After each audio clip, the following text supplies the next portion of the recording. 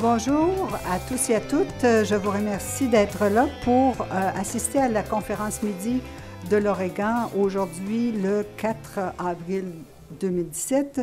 Nous avons euh, l'honneur, ou en fait le plaisir, d'accueillir Valérie Lederer, qui est sociologue, épidémiologiste et professeur en santé et sécurité du travail au département des relations industrielles de l'UCO et dont les recherches portent entre autres sur les problématiques de sexe-genre en matière d'absentéisme prolongé au travail suite à un trouble musculo-squelettique, sur l'indemnisation de l'incapacité prolongée au travail et enfin sur les enjeux liés au retour et au maintien en emploi des travailleuses et travailleurs vieillissants.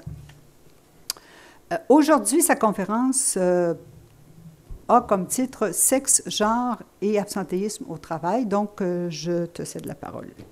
Merci beaucoup. Alors, bonjour, bienvenue.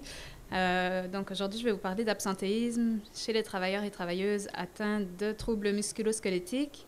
Puis, je vais le faire selon une perspective de genre. Donc, euh, je vais parler un petit peu de ce qu'on sait sur les différentes hommes-femmes en termes d'absentéisme, ce qu'on ne sait pas encore, et puis discuter quelques travaux et hypothèses dans ce domaine-là. Euh, d'abord, je vais vous définir comment j'ai défini la perspective de genre dans mes travaux à moi. Donc, euh, j'ai utilisé la définition d'une épidémiologiste du travail, Lucia Artakos, qui définit la perspective de genre comme une approche qui vise à comprendre les relations complexes entre euh, les facteurs liés au sexe, le travail et les circonstances sociales, donc tout ce qui est rôles familiaux, statut d'emploi, rapports sociaux, de sexe, rapports sociaux de classe, rapports sociaux de race, etc. Euh, pour une petite mise en contexte, d'abord par rapport à l'absentéisme au travail, euh, l'absentéisme, c'est un problème de santé publique majeur au Québec, au Canada et même dans l'ensemble des pays industrialisés. cette semaine seulement, 500 000 travailleurs et travailleuses ne se rendront pas au travail à cause d'un problème de santé mentale ou physique. Donc, c'est un problème énorme. Euh, l'absentéisme lié aux troubles musculo-squelettiques euh, depuis 15, ans à peu près n'a fait qu'augmenter autant chez les hommes que chez les femmes. Puis, euh, ça constitue à peu près un tiers des lésions indemnisées, mais un peu plus qu'un tiers en fait. au Québec, un travailleur sur cinq déclare avoir souffert de troubles musculo-squelettiques dans la dernière année et 7 se sont absentés du travail dans la dernière année à cause d'un trouble musculo-squelettique. Alors, qu'est-ce qu'on entend par trouble musculo-squelettique ben, C'est tout ce qui concerne les maux de dos et toutes les affections inflammatoires comme euh, ce qu'on appelle les lésions en HIT, donc euh, tendinite, bursite, euh, etc. La plupart des travailleurs qui se retrouvent absents du travail à cause d'un trouble musculo-squelettique vont retourner au travail dans, en moins de trois mois. À peu près 90% retournent au travail relativement rapidement. Euh, et un autre 10% vont prendre plus de trois mois à retourner au travail. Puis quand je dis plus de trois mois, ça peut vraiment aller de trois mois à même plusieurs années suite à leur premier jour d'absence au travail. Donc l'absence prolongée euh, souvent se prolonge euh, de façon à, très très long terme.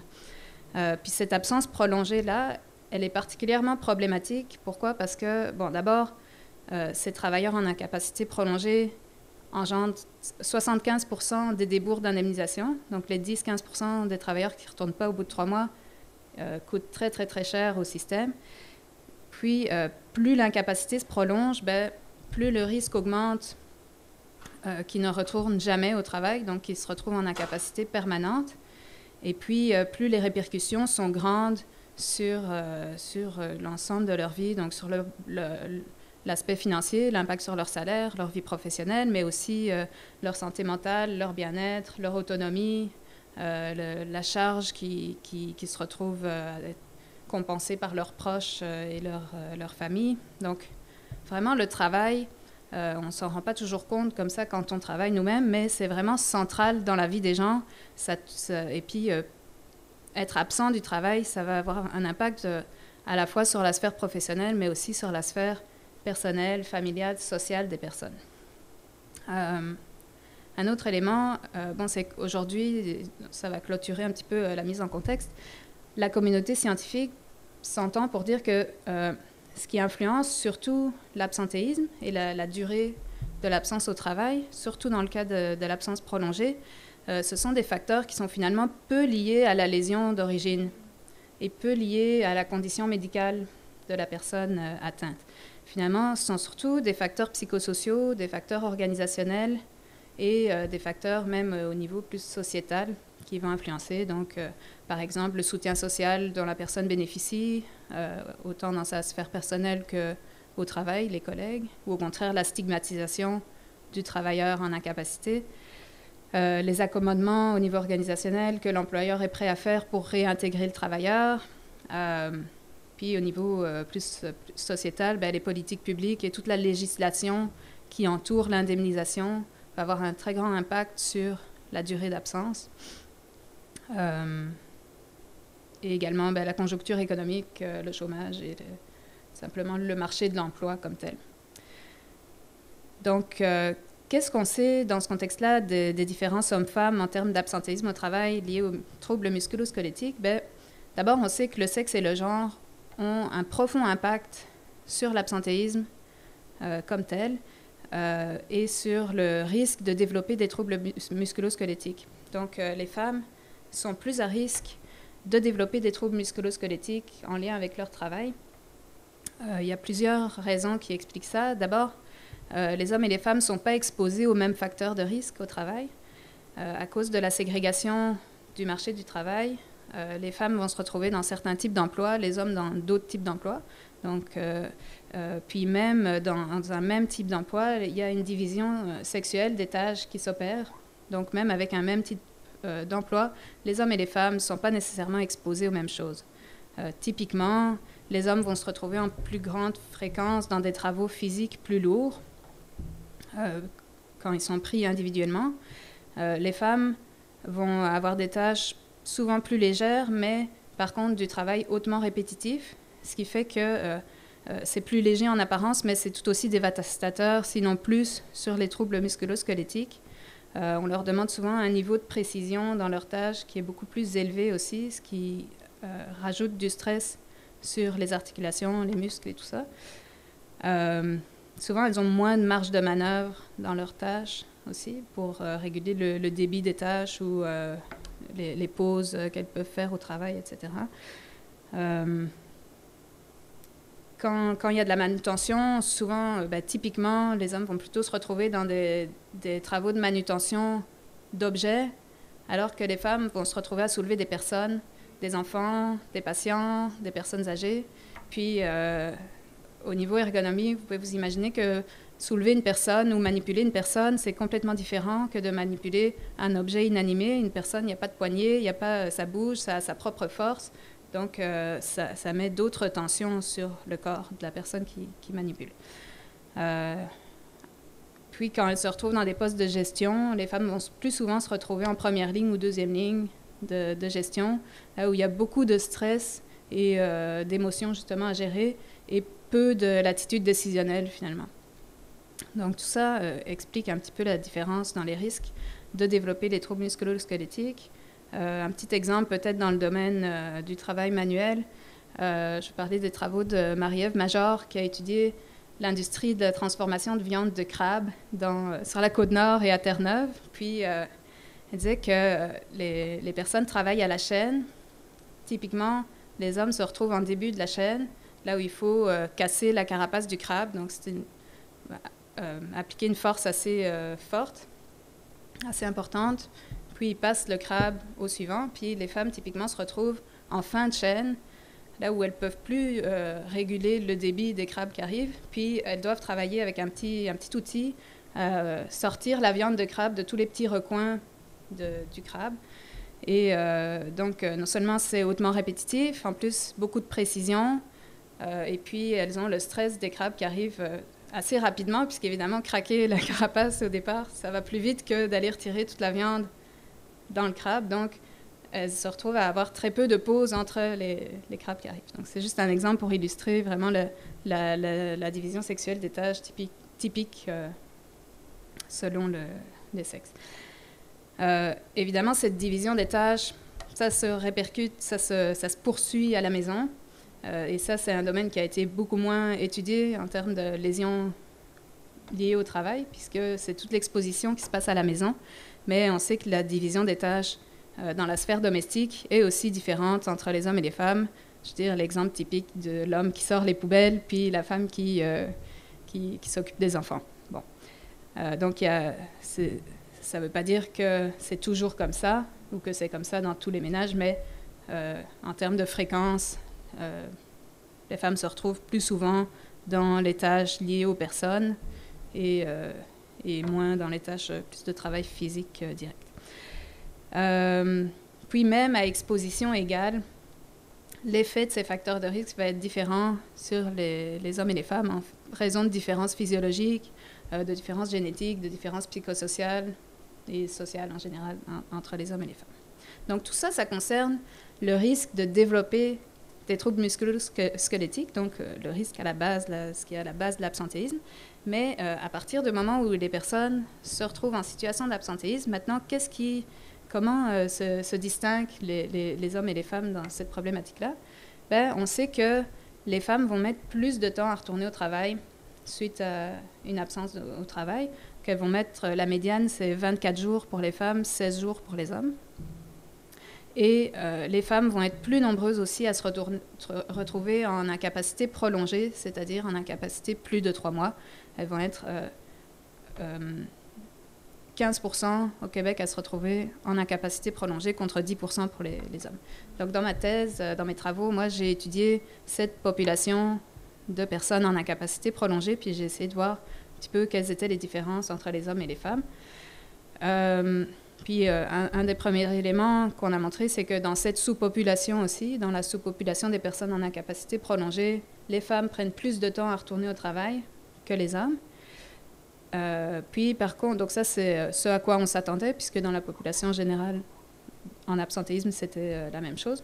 Mais par contre, ce qui était plus surprenant de voir, c'est que les femmes étaient indemnisées moins longtemps moins longtemps, puis plus l'incapacité se prolongeait, plus l'écart se creusait entre les hommes et les femmes. Donc, euh, durée d'absence euh, plus longue et une indemnisation plus courte. Alors, pourquoi? C'est la question. Il y a plusieurs explications possibles, dont certaines ont déjà été euh, démontrées, puis surtout beaucoup d'hypothèses à explorer.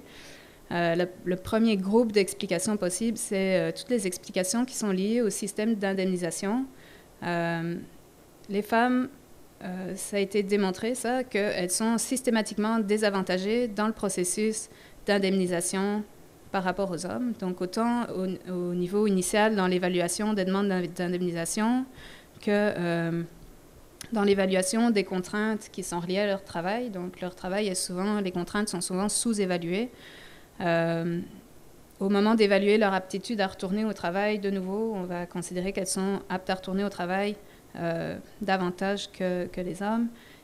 Euh, elles sont aussi désavantagées en termes de dans, tout ce qui est contestation par les employeurs au tribunal administratif. Donc souvent, les employeurs euh, vont contester une demande d'indemnisation. Parfois, ça fait même presque partie d'une pratique de gestion. Ils vont contester systématiquement toutes les demandes d'indemnisation qu'ils reçoivent, en espérant qu'il y en ait quelques-unes qui, puissent euh, échapper.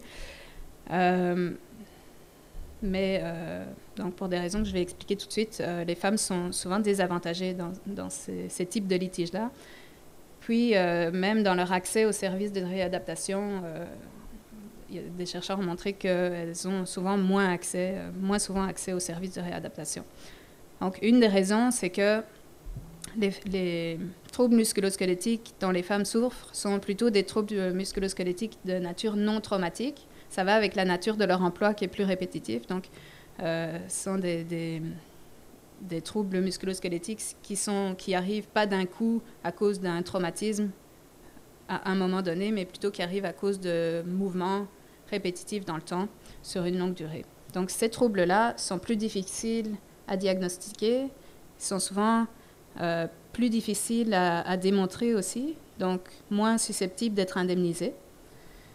Euh, il y a une chercheure, euh, Catherine Lippel, qui a montré que, elle travaille à l'Université d'Ottawa d'ailleurs, qui a montré que les femmes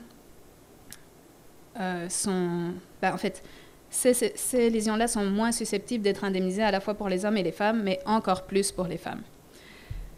la deuxième raison, c'est les contraintes liées à l'emploi qui sont souvent sous-évaluées. pourquoi elles sont sous-évaluées? Parce qu'il y a moins d'études là-dessus, parce que ça a été moins étudié, c'est moins reconnu. donc au moment d'évaluer leur aptitude à retourner au travail ou leur besoin d'un service de réadaptation, ben, systématiquement, les femmes vont être désavantagées là. Et puis, euh, dans les litiges, un autre élément, c'est que euh, les, professions traditionnellement, les syndicats dans les professions traditionnellement féminines ont souvent moins de poids et moins d'argent que les syndicats dans les professions traditionnellement masculines. Et donc, encore une fois, en cas de litige, les femmes euh, vont avoir moins de moyens de défense à ce niveau-là. Un deuxième groupe d'explications serait euh, le, fait que les femmes seraient plus susceptibles de développer de la détresse psychologique secondaire à la lésion musculo-squelettique et à la, euh, ben, à la fois en lien avec le processus d'indemnisation et le, processus d'absence lui-même, euh, et en lien avec l'anticipation du retour au travail. Donc ça, ça expliquerait pourquoi elles se maintiennent en absence du travail, même si elles sont jugées aptes par l'organisme indemnisateur à retourner au travail. Euh, un, troisième, euh, troisième élément, c'est au niveau de l'incapacité très prolongée. Donc, quand l'incapacité se prolonge sur plusieurs années suite à une lésion musculo-squelettique, en fait, au départ, le, le travailleur à ce qu'on appelle le droit, un droit au retour au travail. Donc, il a le droit de retourner dans son poste pré-lésionnel, dans le poste qui précédait son accident. Mais plus le temps se prolonge, plus euh, les, travailleurs vont avoir tendance à perdre ce droit-là. Donc, les petites entreprises ont l'obligation de reprendre le travailleur pour un an suite à l'accident. Les grandes entreprises, c'est deux ans. Euh, et après ça, l'employeur peut reprendre la personne s'il le souhaite, mais n'est plus obligé de reprendre la personne puis du fait que les femmes se retrouvent plus souvent dans des emplois plus précaires, des emplois temporaires, des emplois à temps partiel et des emplois en général moins stables, euh, ben, elles vont plus souvent perdre ce lien d'emploi-là et euh, ne pas pouvoir retourner à leur emploi euh, précédant la lésion. Puis un dernier euh, groupe d'explications, on va dire ça comme ça, c'est euh, tout ce qui concerne les différences de rémunération homme-femme et les différences de valorisation du travail rémunéré et non rémunéré euh, des hommes et des femmes. Donc, par exemple, je vais vous donner quelques exemples de ça. Les femmes se retrouvent en majorité, enfin, les femmes constituent la majorité des travailleurs à temps partiel. Parmi les travailleurs à temps partiel, on retrouve surtout des femmes. Puis, euh, quand on est indemnisé, ben, notre salaire, notre euh, revenu d'indemnisation est calculé par rapport à notre salaire. Donc, si on a déjà un salaire à temps partiel, la portion d'indemnisation, parfois, n'est plus suffisante pour subvenir aux besoins euh, de ces femmes-là. On a plus à perdre quand on a un petit salaire puis qu'on nous enlève encore une partie. c'est la première raison. La deuxième raison, c'est que, évidemment, l'indemnisation, quand on est indemnisé, on est indemnisé à temps partiel si on travaillait à temps partiel, mais par contre, on est en incapacité à temps plein. Donc tout le travail que les femmes faisaient hors de la sphère professionnelle, le travail non rémunéré, lui, n'est pas indemnisé. Et euh, leur, euh, euh, si, si, elles sont plus capables de, de s'occuper de ces tâches-là, ben, elles doivent payer quelqu'un pour le faire ou trouver quelqu'un pour les remplacer. Donc, de nouveau, elles sont doublement désavantagées. Non seulement elles sont moins indemnisées, mais en plus, euh, elles doivent payer des gens pour, les remplacer dans le travail qu'elles ne peuvent plus faire.